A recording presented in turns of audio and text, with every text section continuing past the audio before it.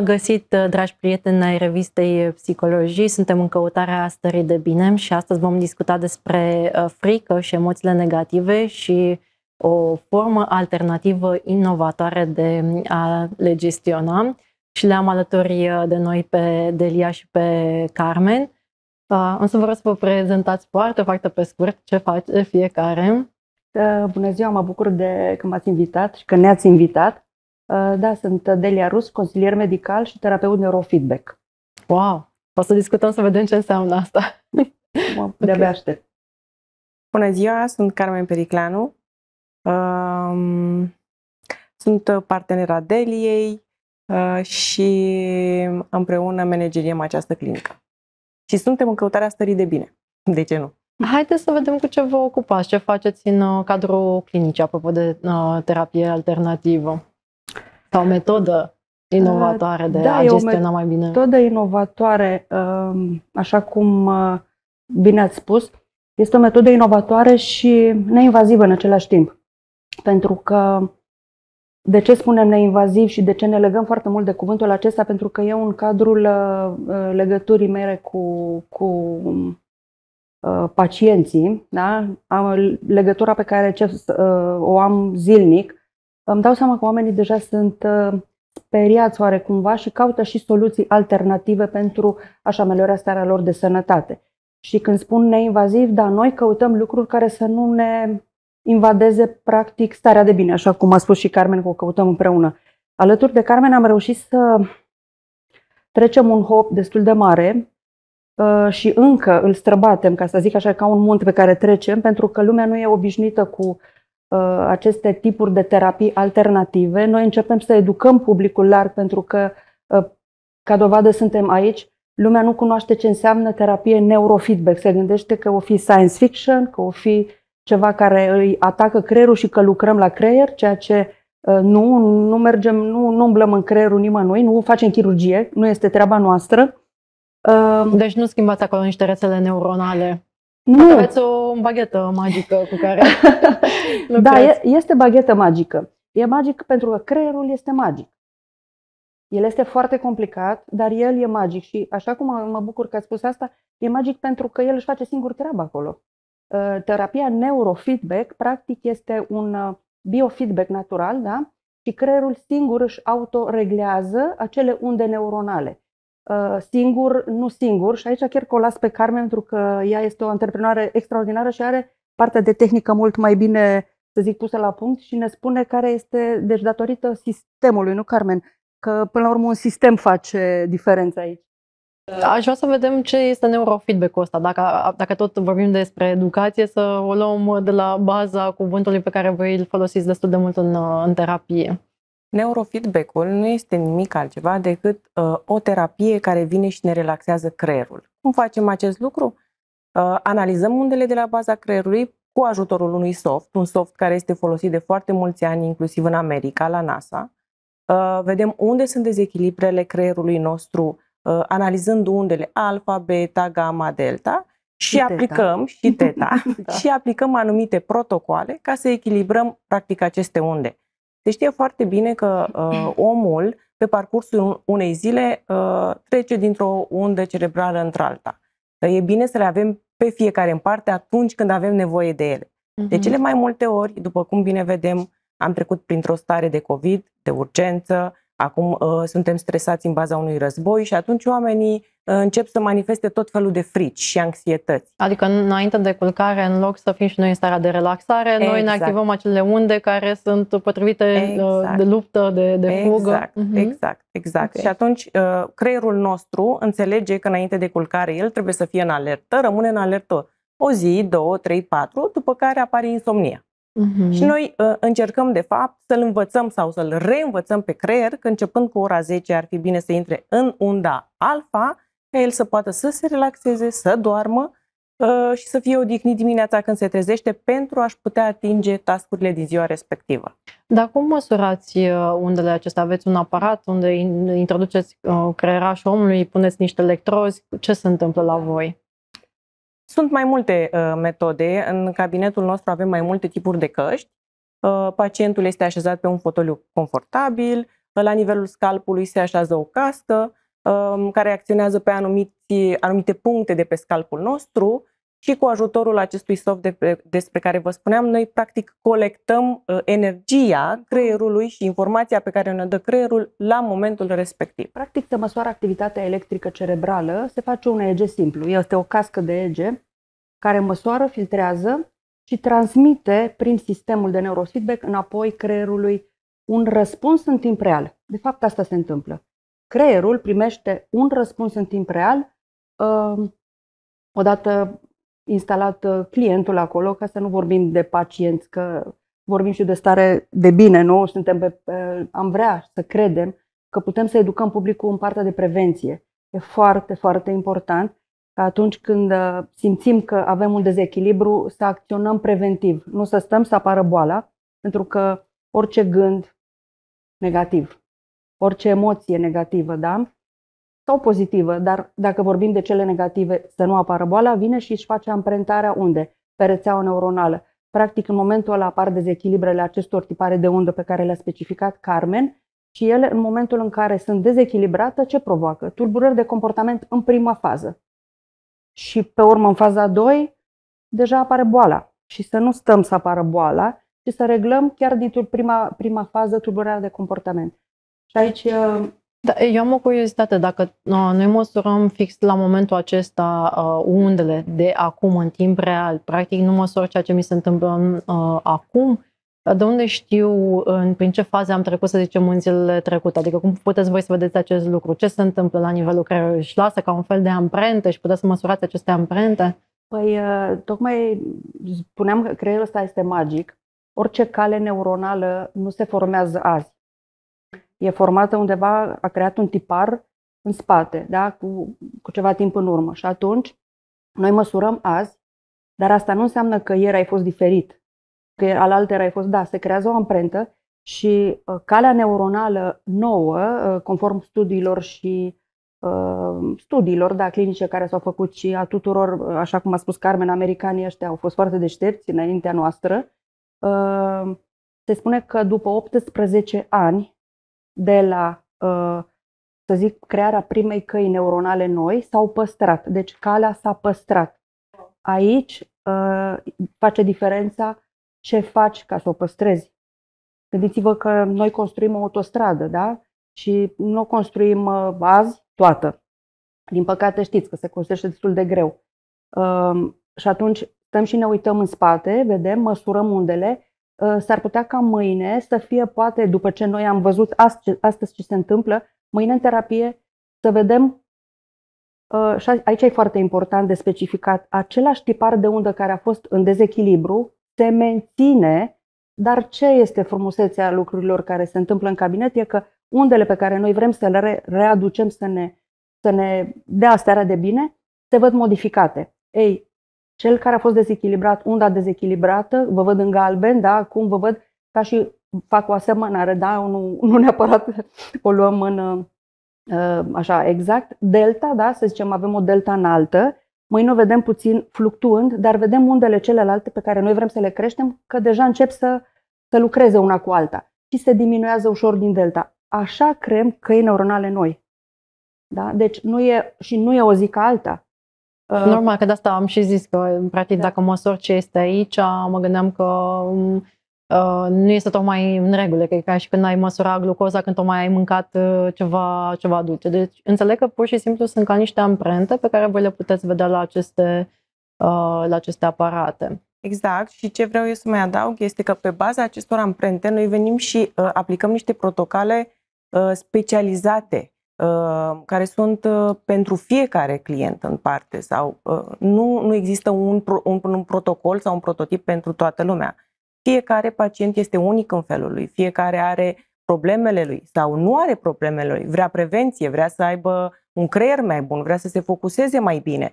Și atunci noi aplicăm aceste protocoale și le ajutăm să ajungă cât mai repede acolo unde își dorește. Ce este minunat la această terapie este că este non-invazivă 1, și că poate fi aplicată atât medical cât și non-medical. Uh, avem pacienții care au anumite probleme și vin la noi cu mm, o prescripție medicală și sunt alții uh, care nu au aceste prescripții, dar își doresc să ducă o viață liniștită și să se echilibreze. Uh, când am pornit în acest business, ca și paranteză, dorința noastră era și este în continuare ca oamenii să apeleze la terapia neurofeedback așa cum merg la sala de fitness. Creierul ca pe dinți, ca... uh-huh. da? El are nevoie în mod uh, regulat de anumite sisteme care să-l elibereze, ca el să poată să acapareze nouă, o nouă informație și să devină mai bun și să simtă bine. Și atunci când oamenii vor realiza că este ok să mergi să faci o terapie, o terapie la o perioadă de timp, probabil vom vedea mai mulți oameni zâmbind pe stradă. Dar uh, mă îngrijorează, dacă vreți, această idee că și la 18 ani, după ce s-a format, să mai vede această amprentă. Dar în acești 18 ani, amprenta a fost tot întărită, nu? Bănuiesc. Nu e ca și când ar exact fi... Exact ce vă spuneam. A, a fost menținută calea aceea neuronală. Uh, și mi-am mai spus, am mai spus asta și o să spun și telespectatorilor sau spectatorilor dumneavoastră, cititorilor revistei, pentru uh, că e foarte important Uh, să nu credem că neurofeedback-ul este panaceu universal. Este un potențator extraordinar în uh, efectuarea celorlalte terapii. Uh, lucrez cu psihoterapeuți cu care doar telefonic mă înțeleg despre pacientul respectiv, le dăm graficele care noi le înregistrăm în sistem și dând și conform graficelor știu să aplice metoda terapeutică. Este le mult mai ușor copii cu autism care pot să-și practice terapiile care le au uh, destul de multe, își pot uh, efectua terapiile cu mult succes. Logopezii își pot uh, efectua terapiile cu foarte mare succes pentru că, așa cum am spus, este potențator. Pentru că în momentul în care creierul tău e relaxat și începe și își face el singur legăturile, conexiunile, e maxim. Mm-hmm. Dar uh, cum adică primește terapeutul graficele? Hai să dăm un exemplu. Dacă știm că este o persoană foarte anxioasă, ca să ne gândim la, la uh, tema noastră de, uh, de astăzi, dacă e o persoană foarte anxioasă și primește un grafic de la voi, ce o să-mi spună mie ca psihoterapeut graficul respectiv? Bineînțeles că noi trebuie să comunicăm și să vă învăț, exact ca și psihoterapeut, ce urmăresc eu la graficul sau ce obțin prin graficul respectiv. Și vă dau un exemplu, o pacientă 16 ani, o domnișoară, care în urma unui test vocațional uh, m-a sunat uh, cel care, cea care a făcut testul vocațional și a zis ok, este o fată, a descris-o în toate formele cât mai frumos și a zis este direcționată în, în, în area respectivă, dar nu are încredere în ea, nu-și poate, nu are focus la școală, nu vrea să mai învețe mi se par că toți profesorii sunt uh, fiecare nepregătiți cum or fi, deci fiecare are, uh, să zic, viziunea lui și zice, cred că ar trebui un pic liniștită.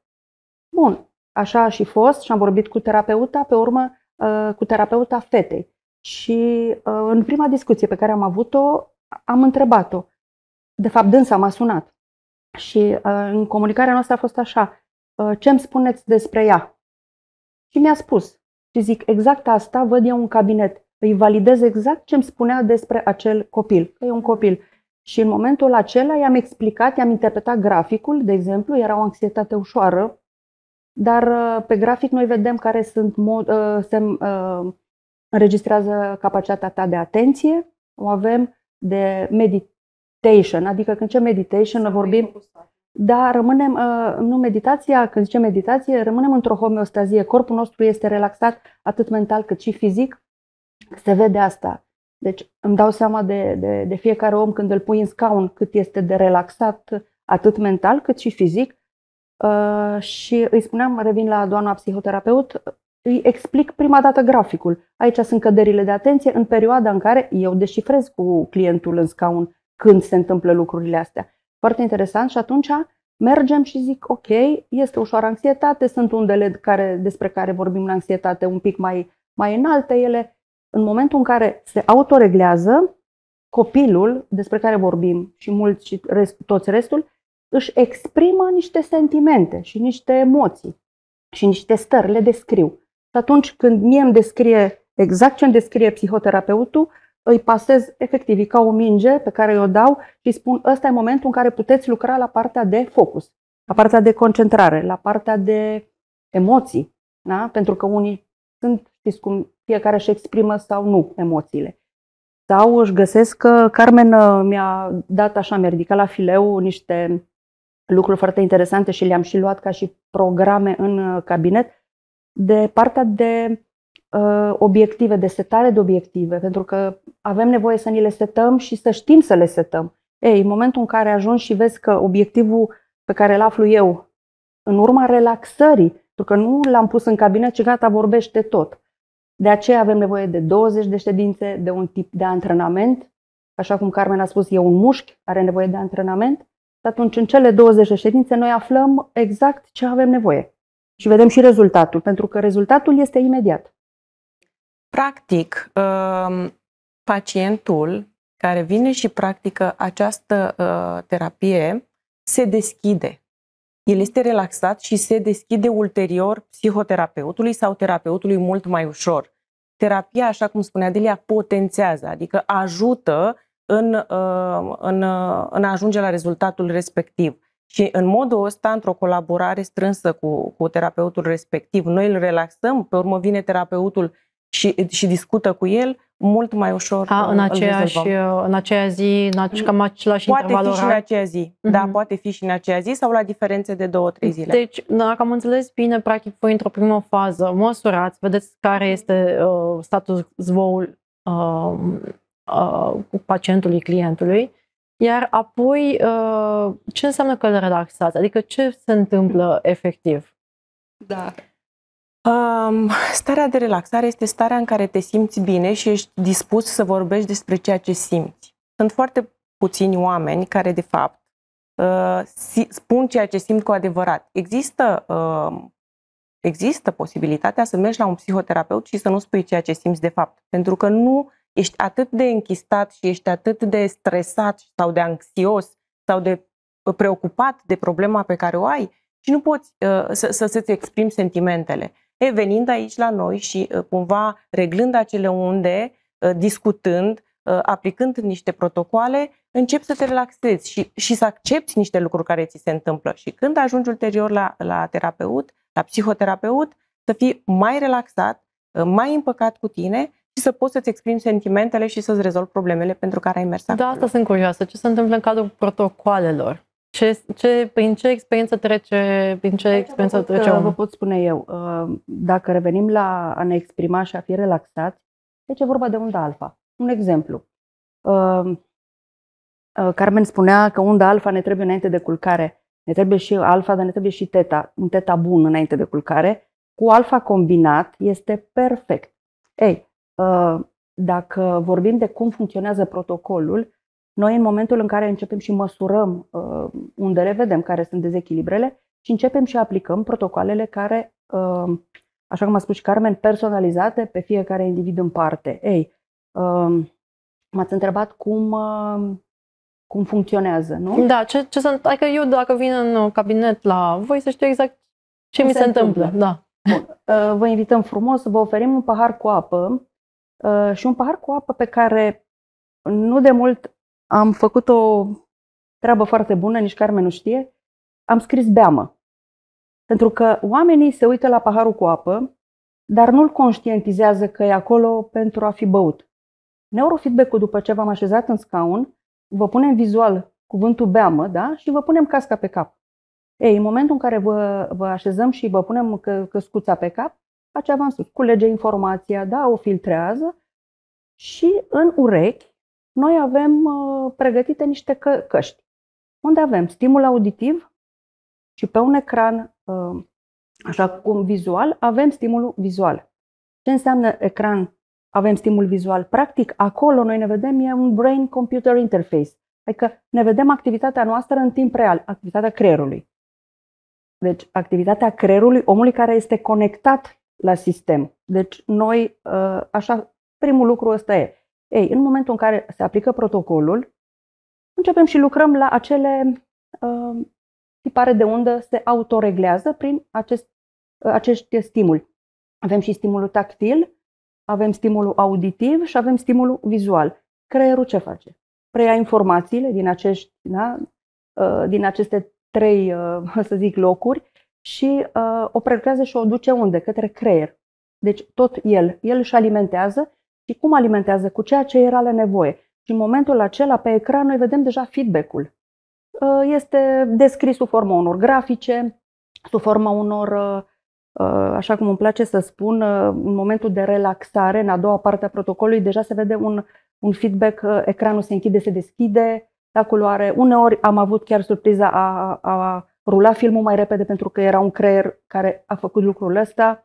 Um, cam asta ar fi, să zic, lucru efectiv care se întâmplă da? în, în cabinet. Așa, în, deci, practic, și eu stau în fața unui ecran și privesc activitatea creierașului meu Activi... sau văd anumite... Anumite protocoale specifice, personalizate, da. Am putea da un exemplu, poate că e mai mhm. simplu așa, da? da. Uh, să spunem că avem un uh, client sau un pacient care nu se poate uh, focusa pe o anumită temă, da? Nu are un examen și el trebuie să mhm. învețe și își dă seama că de două săptămâni nu mai reține informații sau de două luni sau de doi ani și vrea să facă ceva, poate exista un protocol în care el este așezat pe acest scaun, stă în fața ecranului, are căștile, are stimulul auditiv în ureche, iar pe uh, ecran uh, rulează, să spunem, o minge de fotbal. Și tascul lui este să mențină acea minge de fotbal în partea de sus a ecranului timp de 3 minute, doar focusându-se pe acea minge, lui. cu atenția lui. Uh, pacienții sunt uh, timurați și întreabă cum adică doar mă uit și se întâmplă asta, că de fapt asta se întâmplă și spui da, tu te concentrezi și cu puterea minții vei antrena creierul tău de fiecare dată ca mingea să rămână acolo unde îți dorești tu.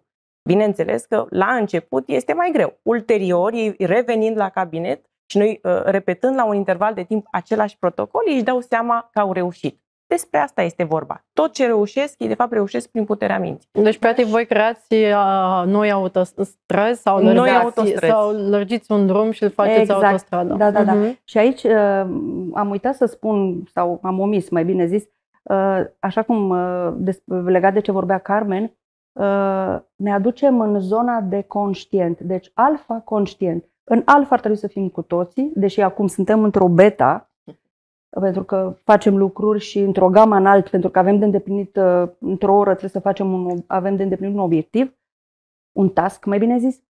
Deci noi ne aducem uh, clienții în prima fază în alfa conștient. Ce înseamnă alfa conștient? Să luăm cele mai bune decizii, propriile noastre decizii, în cel mai scurt timp posibil, dacă putem. Mm-hmm. Ok. Când suntem în faza uh, de stres, suntem în beta? Uh, stresul anxietatea, o traducem așa ca să exprimăm, pentru că sunt simptome diferite. Fiecare își codifică stresul sub, anumit, uh, sub anumite forme, dar în principiu de anxietatea o putem duce, o putem uh, duce într-un dezechilibru de beta, da? Um, de exemplu, burnout-ul și tulburările de somn le ducem în dezechilibru de delta, tulburările de atenție și concentrare Copiii cu ADHD, autism, avem foarte multă delta. Uh, încă o dată, sunt din definiții, ne dăm seama, dar ele se particularizează foarte mult. Iarăși, poate să fie un delta, cum am întâlnit chiar ieri, uh, un delta uh, extraordinar la un copilaj mic, nu pot să spun nici, din păcate era o problemă neurologică, dar el exprima altceva și se vedea clar ceea ce îți exprimă și ce îți spune și părintele în urma unei uh, evaluări pe care o facem într-o anamneză destul de îndelungată, că avem o oră și ceva la dispoziție, ne dăm seama de uh, ce avem să, uh, nevoie să reglăm. Și pe urmă, părintele sau copilul sau adultul simte lucrurile astea și vine și a doua zi ne spune asta a fost, asta n-a fost. Iarăși pot să dau un exemplu foarte, foarte uh, bun și frumos și a fost uh, chiar o provocare pentru mine Uh, la epilepsie. Um, în prima și a doua ședință, nicio reacție, dar în a treia am început să somatizeze. Ce înseamnă asta? Transpirații, dureri de cap. Și a început să s-a instalat o ușoară uh, stare de panică. Și am spus așa, ești în siguranță aici? Și asta simt pacienții, clienții, imediat cum intră în cabinet, ceea ce este extraordinar. Și mă reîntorc. Ești în siguranță. Uh, se uitat așa la mine, mi-e teamă. Nu, n-ai nicio criză. Nicio criză nu se poate, nu se poate. Ea era, ei era teamă că îi revine o criză. N-avea cum, pentru că creierul, și aici vreau să le spun tuturor, nu-și face rău singur. Noi nu acționăm cu nimic. El singur autoreglează. Uh, medicii neurologi cu care lucrez sunt extraordinar de încântați pentru că își găsesc că uh, această pacientă mi-a trimis un doctor, un medic neurolog. Extraordinar. Deci dacă ar avea deschiderea asta, ar scăpa dânsii de foarte multe complicații în cabinet. Pentru că sunt multe care nu se pot rezolva în cabinet, fiind cadrul medical, chiar știu asta, și e esențial. Acum trăim vremurile acestea în care frica normal este preponderentă vis-a-vis dacă o să apară bă, și războiul la noi în uh, țară și ce se va întâmpla cu criza bă, economică. Ce vedeți voi la nivel de, de creier? Cum identificați cât de, nu știu, cât de puternică e frica mea versus uh, a lui Carmen? Vedeți diferențele acestea? Ce se întâmplă? Aici o să încep și o să o las pe Carmen, cred că să continue, dar uh, noi nu putem identifica gradul de frică, ci putem identifica în cabinet modul cum se exprimă oamenii. Și da, uh, oamenii care ajung în cabinet, asta pot să mă consider, uh, ce să zic, uh, foarte, foarte fericită, pentru că oamenii comunică foarte bine cu mine și cu terapeut, cu colega cu care, pe care o am în, în cabinet, dar se deschid foarte mult și au nevoie de comunicare. Noi așa ne dăm seama din ce discuții avem în cadrul cabinetului, până unde ajung, păstrând, bineînțeles, relația terapeutică, până unde ajung oamenii să-și deschidă sufletul și să conștientizeze, pentru că asta se întâmplă. Conștientizez că am o problemă. Da? E foarte important să știți că dacă vine un, și am avut, elevi, vor să învețe la materie, eu nu pot să învăț în locul lor, și nici neurofeedback-ul nu-i ajută să învețe. Păcat. Da. Uh, am mai spus asta, am avut o dezamăgire, într-adevăr, dar am învățat și din asta, pentru că tu trebuie să deschizi cartea când vrei să înveți. Uh, neurofeedback-ul nu-ți deschide cartea. Îți deschide doar calea înspre a fi mai ușor să deschizi cartea. Uh-huh. Asta e Îți pregătește ingredientele principale, dar tu trebuie să faci Efortul. Uh, partea de bucătărie și de să iasă da. prăjitura. Da, foarte, foarte frumos spus. Asta o să preiau și eu un cabinet. Uh. La nivel de creier, să zicem, da, a fost perioada de pandemie în care oamenii au experimentat uh, foarte multă frică că s-ar putea să se îmbolnăvească. Acum frica că s-ar putea să fim și noi implicați într-un război. La nivel de creier, înțeleg că se creează o anumită amprentă sau nu? Uh, cu privire la această frică și apoi să zicem că toate sunt bune și frumoase. Nu mai avem nici pandemie, nu mai avem nici războaie, rămânem cu uh, această amprentă, ea se manifestă și pe lucruri simple. Nu știu, poate în momentul să faci dragoste și pe tine te apucă frica, că poate ai lăsat robinetul deschis la, uh, la bucătărie. Vreau să adaug ceva aici. Da. Frica uh, are două surse, să spunem. Este frica aceasta cu care, într-un fel, ne naștem și este o amprentă a noastră personală și este frica uh, pe care o primim de la mediul în care trăim. Dacă mă întrebați pe mine, acum noi trăim frica mediului în care suntem. Da? Uh, odată ce a venit cineva de sus și ne va spune s-a terminat cu războiul, s-a terminat cu pandemia, frica dată de mediu dispare. Uitați-vă pe străzi. Totul, toată lumea este la plimbare, nu mai există măști, nu mai există niciun risc, toată lumea este fericită, parcă nici n-a fost. Ne-am și uitat.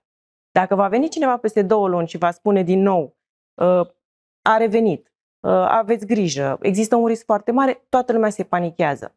Uh, frica dată de mediu, din punctul meu de vedere, va dispărea la un moment dat când dispare mediul respectiv propice fricii respective. Dar frica care este amprentată în noi, genetic, și care are o sursă în copilărie sau mai mult decât atât, ea poate fi într-adevăr tratată la noi la clinică, dar nu doar de neurofeedback, și de mai multe terapii care sinergic vor ajuta uh, uh, să, ca pacientul să o conștientizeze, să o trateze, să o accepte și să facă din asta, de ce nu, un plus la un moment dat. Bine, acum, dacă e vorbim de trei tipuri de frici, asta externă, da. a fost cea externă dată de către părinți, că vedem acum vorba aia, să nu stai în curent, că o să răcești. Numai România, numai România exact. te ia curentul, adică exact. te ia curentul, da? Exact. Uh, Tiparele. Da, tiparele, dar mai e și aia bă, genetică firească, unde antenuțele noastre sunt tot timpul uh, uh, extinse și ridicate la fileu, tocmai ca să ne protejăm de dușmani. De apărare. Da. Reacția noastră de apărare, creierul De care avem această... nevoie, da. Exact, luptă sau fugi, el face lucruri acolo și aici să vin în completarea lui Carmen, ceea ce chiar îmi place că a ridicat iarăși uh, subiectul ăsta, creierul are această capacitate este are de neuroplasticitate, de care se vorbește destul de, să zic așa, de foarte... Recent. Da, 20 de ani, să zicem recent, 20 și ceva. La noi cred că de Mai curând. recent. Da? Uh, Deci are această capacitate. Ce înseamnă asta? Tocmai el este influențat și reacționează, deci influența factorilor din mediul extern. Deci ce îi dai, asta primește. Dacă îi dau uh, uh, un zâmbet, primește un zâmbet. Dacă îi dau un stimul negativ, ăsta îl primește și începe și prelucrează și hormoni. Vreau să-l citez aici pe domnul profesor Dulcan, care ne spunea că uh, atunci când zâmbești, doar când zâmbești pur și simplu, și dacă ești supărat și conștientizezi asta, zâmbește pentru că se, ți se descresește, nu fruntea, se secretă endorfinele și, practic, ai format o cale neuronală bună pentru tine. Dacă tu stai încruntat, conștient, nu se mai întâmplă asta. Practic, totul ține de ce ne dorim noi și de cum acționăm. Și aici neurofeedback-ul te ajută foarte mult să conștientizezi ca ulterior să poți acționa. Asta e foarte important. Ok, eu ar vrea să înțeleg, um, o să mai insist un pic cu întrebarea. Dacă vorbim de mediul acesta extern, care ne-a tot repetat, odată în copilărie, înțeleg că ăla este mai puternic, dacă în copilărie se tot repetă, nu ieși pe stradă, că o să se întâmple aia, nu mânca aia, că o să se întâmple aia. Uh, înțeleg că se creează o rețea, Exact. Exact. o rețea Aici avem deja Da. o cale neuronală formată, bătătorită de ceva timp, câțiva ani, da? Și atunci ne, noi ne comportăm ca atare. Putem să o tratăm, putem să venim la neurofeedback și noi ce facem? Uh, în colaborare cu psihoterapeuți, terapeuți sau Medici cu care medici cu lucrăm. care lucrăm, uh, nu, venim și tratăm și formăm o nouă cale neuronală, practic. Încercăm să o ștergem pe aceasta și să-l învățăm pe creier că, de fapt, el este ok.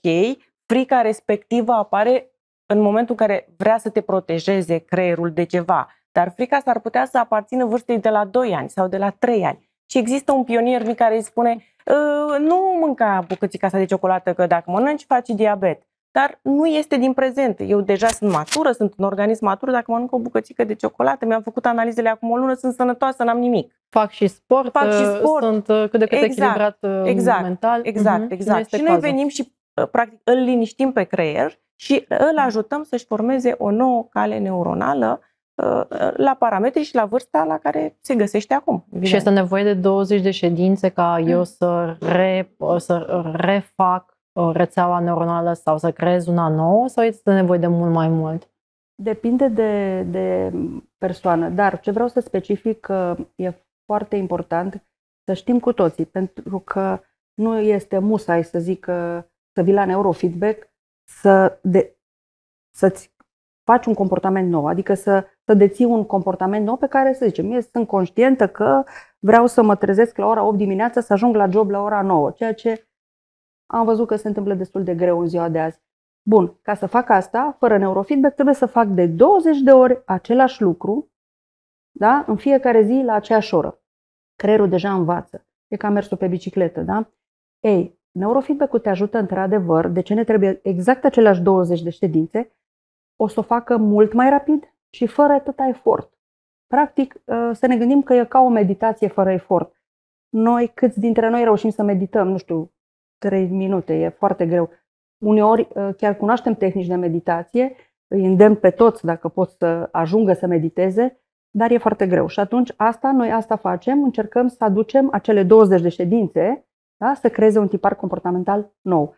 Dacă îmi spune că vântul nu mai sau curentul mă prinde, nu știu cum ați spus, da? mă prinde curentul, că îmbracă-te că te prinde curentul, ă, încerc să zic acum, îmi e bine, mi-e frumos, adică intrăm pe pozitiv și lucrăm la ce? Mă îmbrac frumos, mă îmbrac relaxat, mă îmbrac ă, în sensul că mă îmbrac cât să nu mă tragă curentul. Deci îmi găsesc eu singur resursa, așa cum în cadrul terapiei, cum uh, uh, antrenăm partea de atenție, fiecare om în parte își găsește singur cum să stea focusat acolo, resursele lui uh, și fizice uneori, pentru că sunt oameni care stau așa, crezând că așa se pot concentra mai ușor.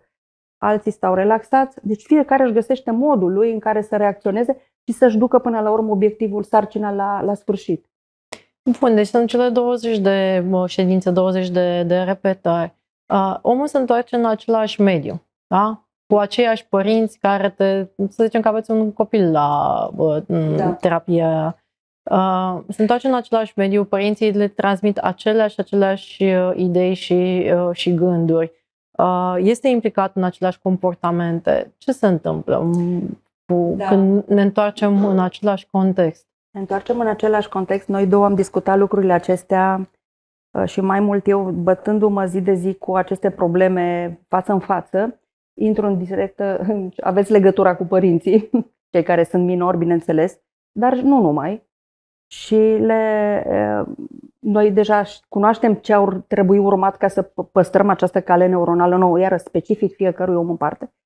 Și uh, intrăm în legătură și părinții, la un moment dat, de exemplu, și-au dat, își dau ei seama că au și ei nevoie de același lucru. Și unii accesează, credeți-mă că nu sunt puțini, de aceea și noi avem chiar două, putem lucra în tandem, părinte-copil sau soț-soție sau prieten cu prietenă, tocmai că ei își dau seama uh, de lucrul acesta. Avem chiar un caz foarte interesant, uh, era în burnout și și-a adus și soția gravidă. Da? Deci era, pentru că nu apucau să nu se mai înțeleagă că ceva nu mai contează. Deci uh, lucrăm așa și încercăm să găsim soluții pentru pasul numărul 2. Aici o las pe Carmen să ne spună că vrem, avem așa un proiect surpriză, chiar, chiar în direcția Dar asta. până la proiectul da. surpriză, uh, să menținem calea, scuză-mă. Ce vreau să spun este că oferim consiliere în cazul copiilor minori și familiei. Adică nu vii cu copilul, vii cu, să spunem, de la un doctor care are o anumită așa, boală sau ceva de genul ăsta și noi îi spunem, ok, treci pe scaun, îți facem neurofeedback. Nu.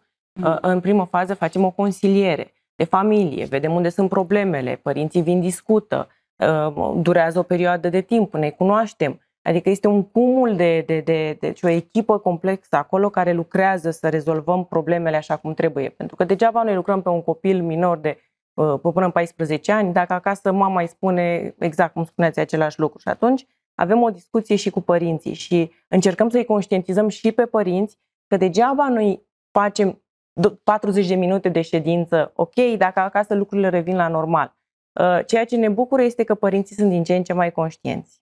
Și suntem super, super fericite pentru asta da. și uh, vin cu plăcere, mai mult decât atât citesc despre uh, această terapie și Uh, sunt încântați și fac și ei demersuri uh, ca toate lucrurile să fie ok pentru copiii lor și de ce nu pentru, pentru familia lor.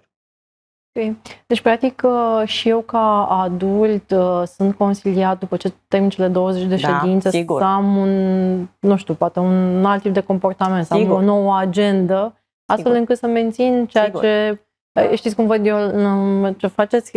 Sunt cei care aleg the hard way să meargă la sală să tragă mm, de, de da. fiare da. sau să conectează la aparatele acelea care da, da. vin și stimulează uh, mușchii, dar odată ce ai ajuns până în punctul în care, să zicem, ai tonus muscular la nivelul pe care tu ți-l dorești, poate ai și slăbit, dar după aceea ai nevoie să continui procesul, că altfel uh, ne da, întoarcem așa este la și în viață, nu?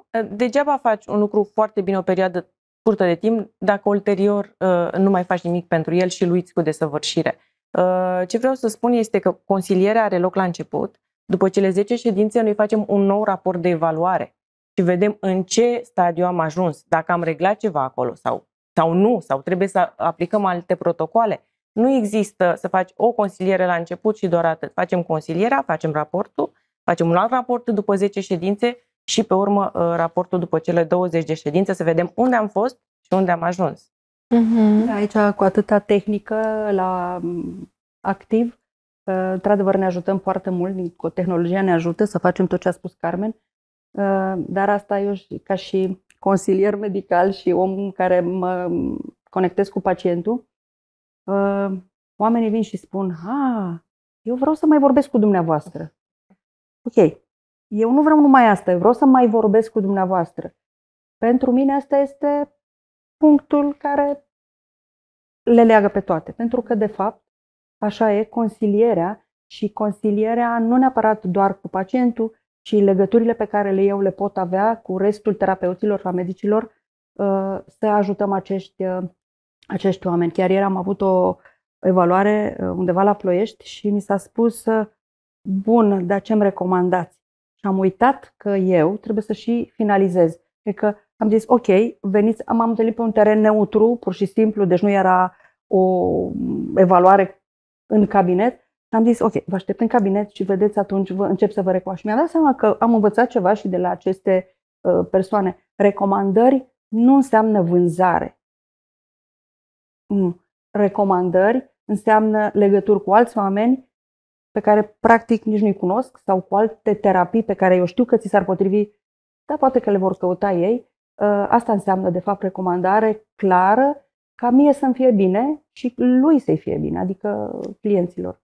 Apropo de recomandări, pentru că vorbim de tema emisiunii de astăzi legat de frică, Uh, trece omul prin cele 20 de ședințe. Cam ce recomandări ați făcut după ce au încheiat ședințele cu voi? Ce ar putea să facă pentru viața lor astfel încât să nu se mai întoarcă la, uh, vechi, la um, vechiul obicei?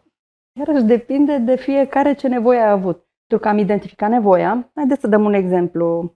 Era o domnișoară, 30 de ani, blondă, frumoasă, foc, care o salut dacă mă vede, știe ea despre cine vorbesc, pentru că creez o relație atât de bună cu, cu ei încât rămânem așa, când auzim unii de alții, ne pare bine.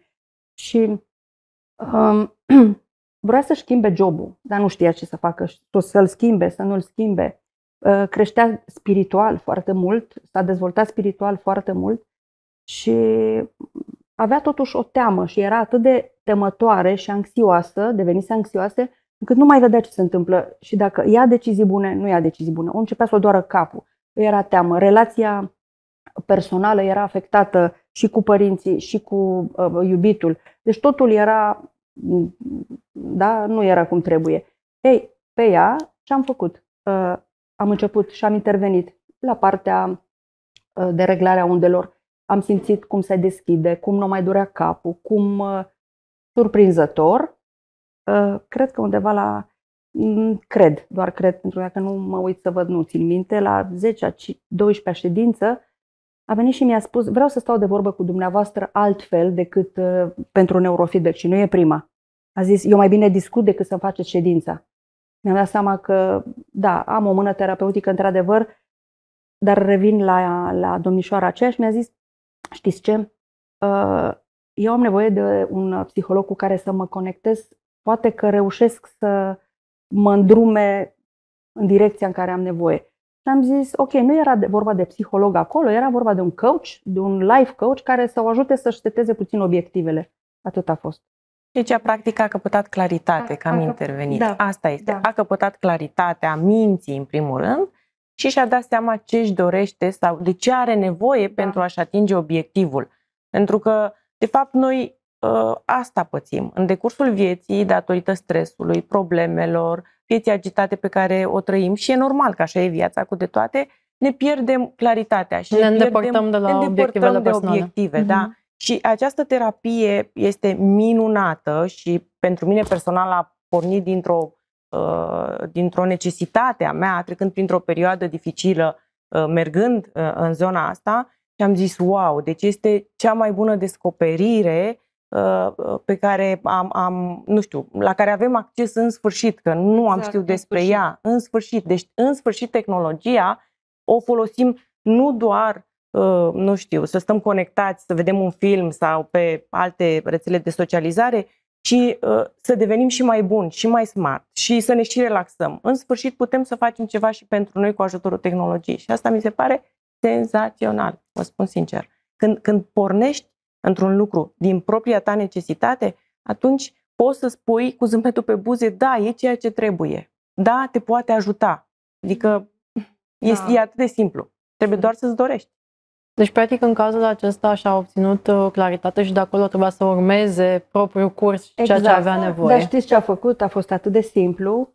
Uh, și-a schimbat jobul, dar cum? N-a regresat, a mers în progres. Asta a fost, pentru mine a fost, wow, deci în sfârșit am luat decizia care trebuie. Într-un proces destul de lung și de, să știți că nu e ușor. Deci nu e ușor absolut deloc, pentru că uh, lucrurile astea nu sunt așa. Că am pocnit uh, din degete și gata, s-a întâmplat. Nu.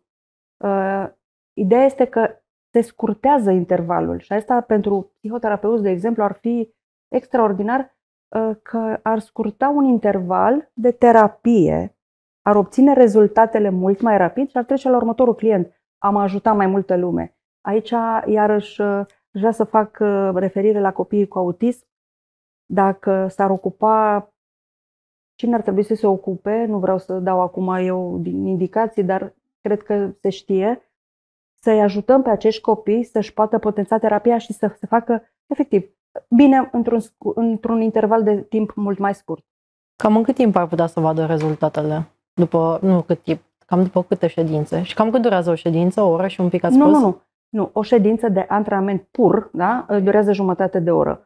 Că intervenim 45 uh, de minute uh, între intervalele, adică lăsăm intervalul de între doi clienți, dar, de exemplu, între doi, chiar astăzi am primit telefon din cabinet, nu mai trebuie să-i punem pe cei doi copii, pentru că nu reușești cu un copil în jumătate de oră. Până vine mama, până îl pune pe scaun, până îl ții, până te conectezi, până te mai lovește. Sunt multe, dar avem o oră acolo. Deci jumătate de oră, efectiv, cu casca pe cap.